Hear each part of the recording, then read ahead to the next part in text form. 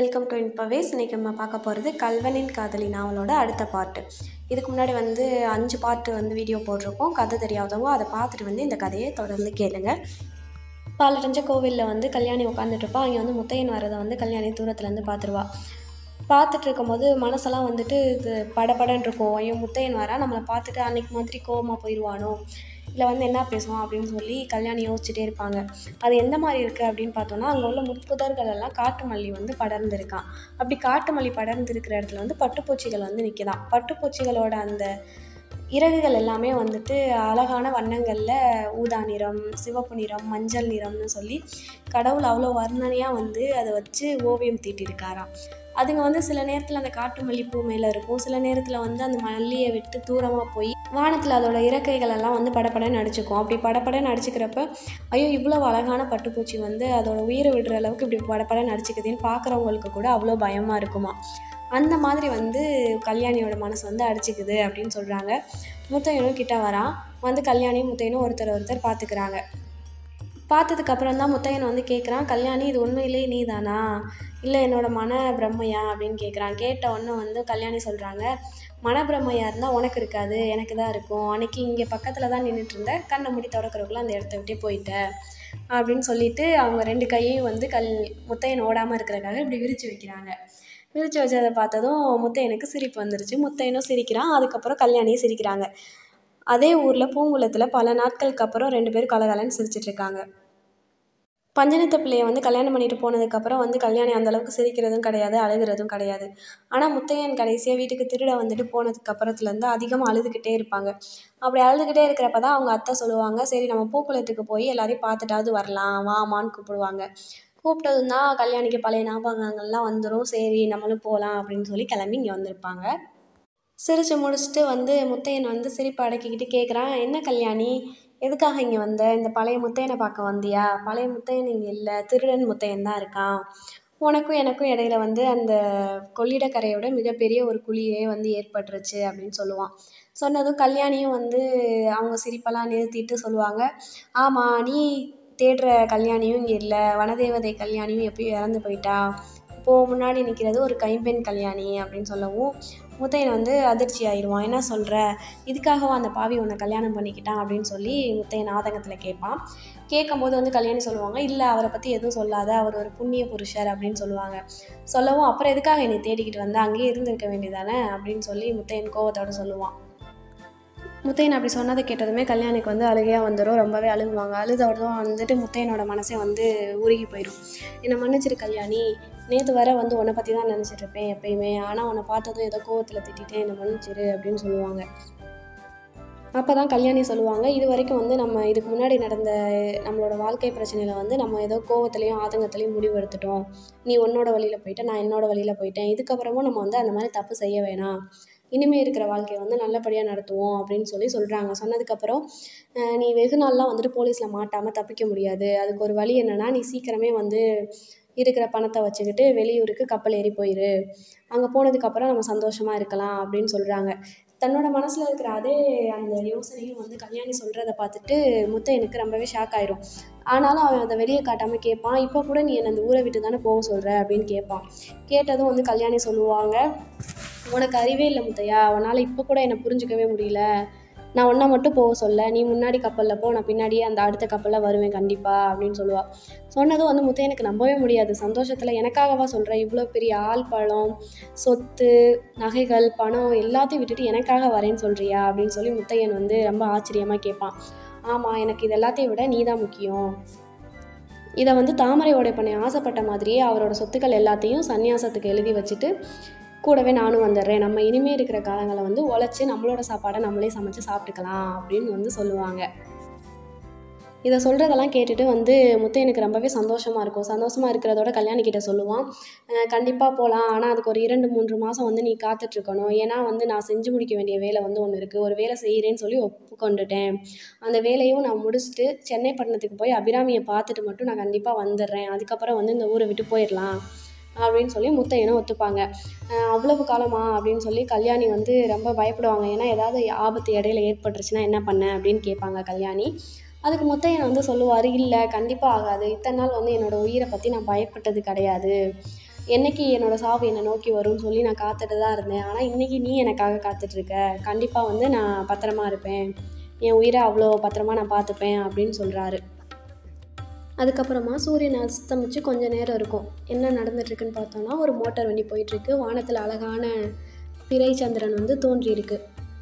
கடல் மாதிரி இருக்கிற வானத்தில் வந்து அழகான அதுக்கு ஆபரணம் மாதிரி வந்து அந்த பிறைச்சந்திரன் இருக்குது அப்படின்னு சொல்கிறாங்க அந்த நேரத்தில் வந்து ஒரு மோட்டார் வண்டி மெதுவாக போயிட்டே இருக்குது அதோட முன் விளக்குகள் வந்து எரியவும் இல்லை. ஒரு தடவை கூட அந்த மோட்டார் வண்டியிலேருந்து பெரிய சத்தங்கள் வந்து வரவும் இல்லை. அதில் வந்து நாலஞ்சு பேர் இருக்காங்க. அதில் முத்தையன் வந்து பின்னாடி வந்து பார்த்துட்டு கையில் அவனோட துப்பாக்கியோட ரெடியாக இருக்கான். எதுக்காகனா போலீஸ்காரங்க நம்மளை துரத்திட்டு வந்தாங்கன்னா அவங்கள சுடணுங்கிறதுக்காக வந்து போயிட்டுருக்கான் புதுச்சேரிக்கு வந்து புதுச்சேரிக்கு பக்கத்தில் வந்து அந்த மோட்டார் வண்டி போய்கிட்டு இருக்கு. என்னதான் பூர்வ ஜென்ம அந்த சனியன் வந்து துரத்துது அந்த கெட்டங்கள் கெட்டதெல்லாம் வந்து வந்துட்டே இருக்குன்னு சொல்லுவாங்கள்ல அந்த மாதிரி தான் போல எனக்கு. ஏன்னா கல்யாணியோட மனசில் அவன் தான் இருக்கான். கல்யாணியோட வந்து ஒரு இனிமையான வாழ்க்கை நடத்தலாம்னு நினச்சிட்டு இருக்கிறப்ப கூட இந்த கெட்ட விஷயங்கள்ல அவனோட மனசு வந்து ஈடுபட்டுட்டு இருக்கு. அதை நினச்சிட்டு போயிட்டே இருக்காங்க. தூரமாக போனதுக்கப்புறம் இதுக்கப்புறம் போலீஸ் தொல்லை இருக்கான்னு சொல்லி வண்டி வேகமாக போய்கிட்டு இருக்கு. வேகமாக ரோட்டை சேர்ந்ததுக்கப்புறம் ஹெட்லைட் போட்டு வேகமாக போயிட்டு இருக்கிறப்ப பார்த்தோன்னா திடீர்னு வந்துட்டு எதிர்த்தாப்பில் வந்து பல போலீஸ் வந்து எந்திரிச்சு நிற்கிறாங்க கையில் கை துப்பாக்கி விளக்குகளோட. பார்த்ததுமே வந்து ஒரே பயம். வண்டியை நிறுத்தாத வேகமாக போயிட்டே இருன்னு சொல்லி வண்டி ஓட்டுறவனுக்கு வந்து உத்தரவு வருது.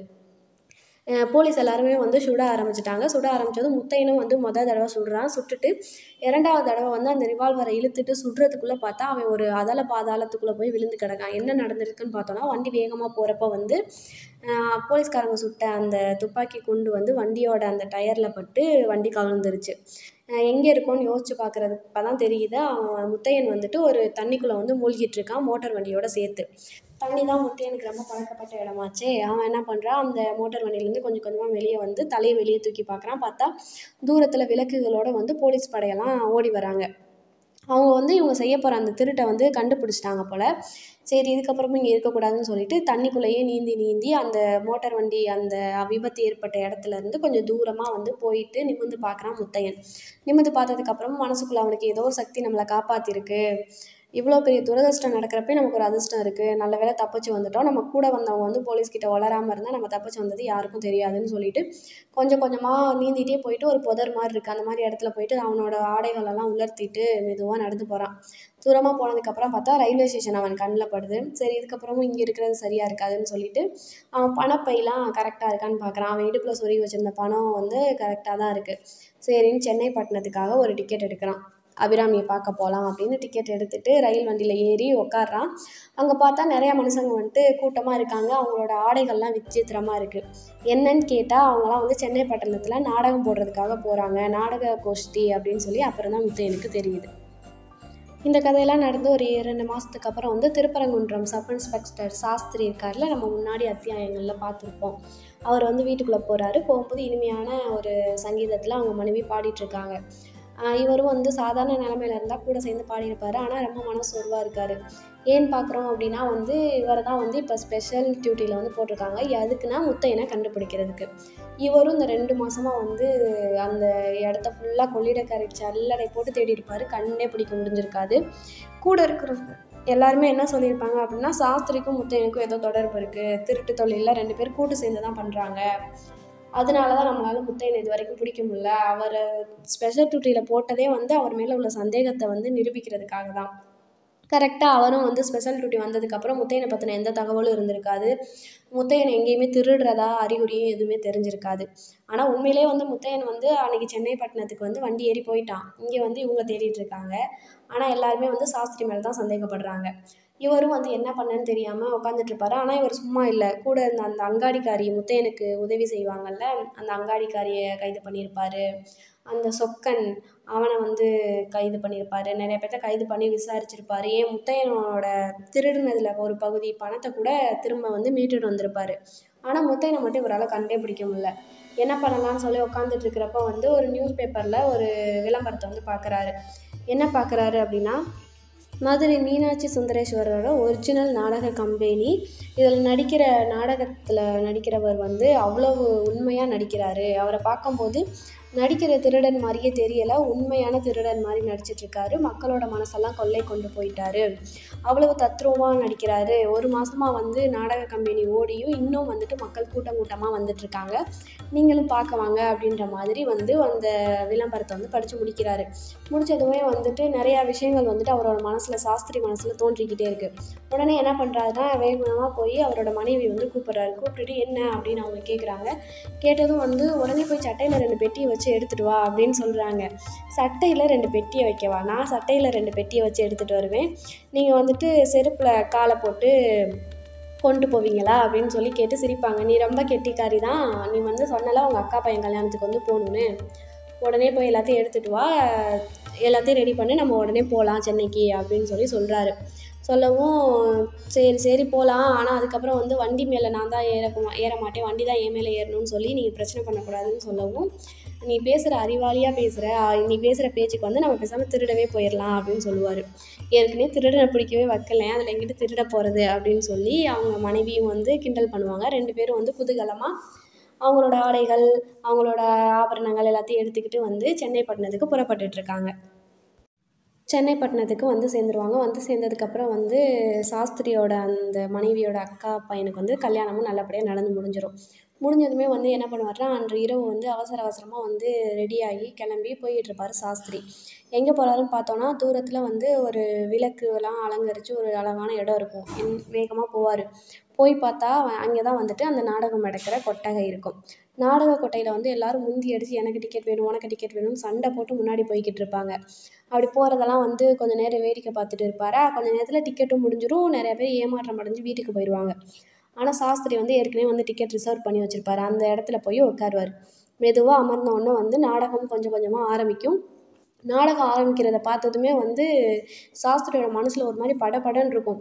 என்னென்னா ரொம்ப நாளாக வந்து ஒரு வேட்டை நாய் வந்து முயலை தேடி துரத்திட்டே போகும்போது ஆனால் கண்ணு முன்னாடி அந்த முயல் இருக்கும். அதை பிடிக்கிறதுக்கு நடுவில் வேலி இருந்தால் எப்படி இருக்கும்? அந்த மாதிரி அவர் மனசு வந்து இருக்கான். ஏன்னா முன்னாடி நிற்கிறது முத்தையனாக தான் இருக்கும்னு அவர் மனசுக்கு வந்துட்டு அதிக அளவில் தோணுது. ஆனாலும் அவனை பிடிக்க முடியல. ஆனால் அதை கன்ஃபார்ம் பண்ணுறதுக்கு இவருக்கு எந்த ஒரு சாட்சியுமே கிடையாது. ஏன்னா இவர் ஒரு தடவை கூட முத்தையனை பார்த்தது கிடையாது. எல்லாமே வந்து ஒரு கற்பனை தான். எல்லாரும் சொன்னது அபிராமி சொன்ன அந்த அங்க அடையாளங்கள் ஏற்கனவே லாக்கப்பில் தப்பிக்க விட்டாங்களே ரெண்டு போலீஸ்காரவங்க. அவங்க சொன்ன அங்க அடையாளங்கள் மூலமாக தான் இவருக்கு ஏதோ தெரியும். அவர் இங்கே வந்திருக்கிறதுக்கு காரணமும் அந்த ரெண்டு போலீஸ்காரங்க தான். அவங்க சென்னை பட்டணத்தில் வேலை தேடி வந்துட்டு இந்த மாதிரி ஒரு இடத்துல நாடக கம்பெனியில் ஒருத்தனை பார்த்தேன். அவனை பார்க்கும்போது முத்தையன் மாதிரியே இருக்குது அப்படின்னு சொல்லியிருப்பான். அதை கேட்டுட்டு சாஸ்திரி சிரிச்சிருப்பார் முன்னாடி. உன்னை போய் திருட பிடிக்க அனுப்புனா என்ன ஆகும் அப்படின்னு சொல்லி சிரிச்சிருப்பார். ஆனால் அவர் மனசில் வந்து சந்தேகம் வளர்ந்துட்டே இருக்கும். அதுக்கு காரணம் என்னன்னு பார்த்தோம்னா இவர் தேடுற அந்த கொள்ளிடக்கரை பக்கத்தில் வந்து ரெண்டு மாதங்களாக எந்த ஒரு தடையுமே கிடச்சிருக்காது. முத்தையனோட ஆள் நடமாட்டம் இருக்கிறதாவே தெரியாது. ஸோ அதனால் ஒரு வேளை வழி இருக்குது நான் அங்கே தான் போயிருப்பான். அதனால தான் அவனோட ஆட்டங்கள் இங்கே எதுவுமே தெரிய மாட்டுது அப்படின்னு சொல்லி அதை கன்ஃபார்ம் பண்ணிக்கிறதுக்காக தான் அங்கே போயிருப்பார். போய் முன்னாடி நின்று திருடனாக நடிக்கிற அந்த நாடக கலைஞனை பார்த்ததுமே இவன் கண்டிப்பாக முத்தையனாக தான் இருப்பான். ஆனால் அதை நிரூபிக்கிறதுக்கு வழி வேணுமே? எப்படி? ஆனால் அவருக்கு வந்து அவர் மனசுக்குள்ளே வந்து ஒரு விஷயம் தோணுது. சில டைம் நம்மளுக்கே வந்துட்டு தொண்டைக்குள்ளே இருக்க வெளியே வர மாட்டுதுன்னு சொல்லுவோம்ல. அந்த மாதிரி அவர் மனசுக்குள்ளே ஒரு ஐடியா வருது. ஆனால் அது என்னன்னு கரெக்டாக அவளால் தெளிவுபடுத்திக்க முடியலை. அப்படியே முன்னாடியும் பின்னாடியும் அலைஞ்சிட்டே இருக்கார். எல்லாரும் நாடகத்தை பார்க்குறதுல குஷியாக இருக்காங்க. ஆனால் அது மட்டும் இல்லாமல் இவரை யாராவது பார்த்தா இவருக்கு பைத்தியம் தான் சொல்கிற அளவுக்கு வந்து மண்டையை போட்டு பிச்சிட்ருக்காரு ஏதோ ஒரு காரணம் இருக்குது ஏதோ ஒரு வழி இருக்குது எப்படியாவது முத்தையனை வந்து இவன் தான் சொல்லி நிரூபிச்சிடலாம் அப்படின்னு சொல்லி ரொம்ப மண்டையை போட்டு குழப்பிட்டே இருக்காரு. இங்கே இதெல்லாம் நடந்துட்டுருக்கிறப்ப அங்கே நாடகத்தில் வந்து அழகாக வந்து முத்தையன் நடிச்சிட்ருக்கான். நடிச்சிட்ருக்கும் போது அந்த பெண் வேஷம் போட்டிருக்கிற அந்த பையனும் சேர்ந்து நல்லா நடிச்சிட்ருக்கான். அவனை பார்க்கும்போது உண்மையான பெண் மாதிரியே இருக்குது அவ்வளோ நளினமாக நடிக்கிறானா. அவன் வந்து கேட்குறான் நீ வந்துட்டு திருடனா? அப்படின்னு கேட்குறப்ப நான் திருடன் இல்லை கல்லன் கிருஷ்ணரோட வழியில் வந்தவன். அப்படின்னு சொல்லி அந்த திருடன் சொல்கிற மாதிரி வரும். அதுக்கப்புறம் அந்த ஸ்திரீயும் வந்து கிட்டத்தில் போய் அவங்க முகத்தை பார்ப்பாங்க. முகத்தை பார்த்ததுமே வந்து அவங்க மயக்க போட்டு விழுகிற மாதிரி அந்த சீன் நடந்துகிட்ருக்கும் எல்லாரும் கொடூரமான முகமாக தான் இருக்கும். அந்த திருடனோட முகம் அப்படின்னு சொல்லி ஆர்வமாக பார்த்துட்டு இருக்கிறப்ப முகமுடியை கழட்டிட்டு முத்தையன் வந்து ஒரு கலையான முகத்தோடு நிற்பான் அதை பார்த்து மக்கள் எல்லாருமே கைத்தட்டி ஆரவாரம் பண்ணிட்டு இருப்பாங்க அந்த முகத்தை பார்த்ததுமே வந்து சாஸ்திரிக்கும் வந்துட்டு முகம் வந்து பிரகாசமாயிரும். ஏன்னா அவர் வந்து ஒரு வழியை கண்டுபிடிச்சிருப்பாரு. என்ன வழினா அப்போ தான் அவருக்கு ஞாபகம் வருது அபிராமி. ஏன்னா அபிராமியை வந்து இவங்க தான் வந்து சென்னை பட்டணத்தில் விட்டுட்டு போயிருக்காங்க. அபிராமிக்கு கண்டிப்பாக தன்னோட அண்ணனை பார்த்தா வந்து கண்டுபிடிச்சிருவா. அவளை வச்சு தான் இவன் முத்தையன் தான் சொல்லி நம்ம கன்ஃபார்ம் பண்ணணும்னு சொல்லி அவர் முடிவு பண்ணி முடிக்கிறாரு. இப்போ வந்து பார்த்தீங்கன்னா எல்லாருமே நெருக்கமாக தான் இருக்காங்க. எப்படின்னு சொல்ல போனால் வந்து முத்தையனும் கல்யாணியும் மீட் பண்ணிட்டாங்க. அதுக்கப்புறம் என்ன பண்ண போகிறாங்கன்னு அவங்க வாழ்க்கையில் வந்து அவங்க ஒரு முடிவு எடுத்திருக்காங்க. இன்னொரு பக்கம் பார்த்தா அபிராமி இருக்கிற அதே ஊரில் முத்தையன் நாடக கம்பெனியில் நடிச்சிட்ருக்கான் அது முத்தையன் தான் கண்டுபிடிச்சிட்டாரு. யாருன்னா முத்தையனை பிடிக்கணும்னு ஸ்பெஷல் டியூட்டியில் போடப்பட்ட ஒரு சப் இன்ஸ்பெக்டர் கண்டே பிடிச்சிட்டாரு. இதுக்கப்புறம் என்ன நடக்க போகிறன்ற கதையை அடுத்த பாட்டில் பார்க்கலாம். மறக்காமல் சேனலுக்கு லைக் பண்ணிடுங்க உங்கள் ஃப்ரெண்ட்ஸ்க்கும் ஷேர் பண்ணுங்கள் மறக்காமல் சப்ஸ்கிரைப் பண்ணிடுங்க.